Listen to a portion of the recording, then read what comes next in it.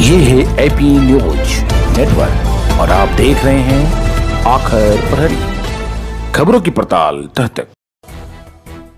बिहार में अपराध थमने का नाम नहीं ले रहा। आए दिन रोज़ाना बिहार के कई जिलों में अपराधी वारदात दावत की तरह दे रहे हैं। लेकिन प्रशासन भी अपराधी पर लगाम लगाना शुरू कर दिए। अपराधी को अपराध नियंत्रण के लिए सघन वाहन चेकिंग चलाया जा रहा है। इसी क्रम में बांका ज़िले के नवादा थाना क्षेत्र के महागमा हरना मोड़ के पास पुलिस ने गुप्त सूचना मिली कि एक बाइक पर तीन अपराधी किसी घटना को अंजाम देने के लिए जा रहे हैं। नवादा थाना प्रभारी नशीम खान ने बाइक सवार को रोकने का प्रयास किया, तभी सवार पुलिस को देखकर भागने लगा। प्रतिनियुक्त पुलिस टीम ने अपराधी को खदेड़कर उन्हें दबोच लिया। पुलिस द्वारा उनकी तलाशी ली गई, जिसमें इनके पास से दो देसी पिस्टल, तीन ज़िंदा कारतूस और दो मोबाइल एवं एक मोटरसाइकिल को भी जब्त किया गया। इस संबंध में ज़िले के एसपी अरविंद गुप्ता ने प्रेस कॉन्फ्रेंस कर मीडिया को जानकारी देते हुए कहा कि ये तीनों ही अपराधी एक ही गाँव के बाशिंदे हैं। इनकी योजना रात्रि में ट्रक से लूटपाट करने की थी।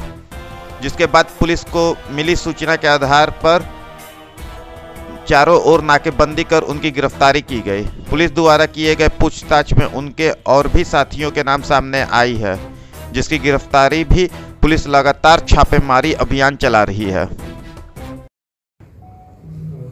वाहन जाँच की प्रक्रिया अपराध नियंत्रण के लिए लगातार चल रही है। इसी क्रम में कल दिन में सूचना प्राप्त हुई कि भागलपुर का जगदीशपुर का एक कुख्यात और फरारी अपराधी रविंद्र यादव हमारे क्षेत्र में, रविंद्र सिंह क्षेत्र में है और कुछ आपराधिक घटना को अंजाम देने वाला है।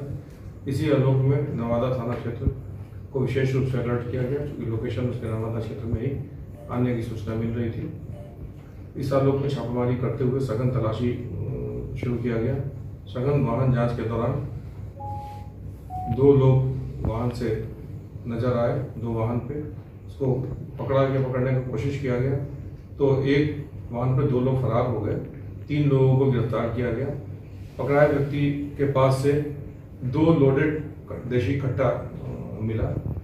उन लोगों ने स्वीकार किया। रविंद्र सिंह जो अपराधी है, उसी के लिए ये लोग काम कर रहे थे और किसी बड़ी अपराधी घटना को कारित करने की योजना थी।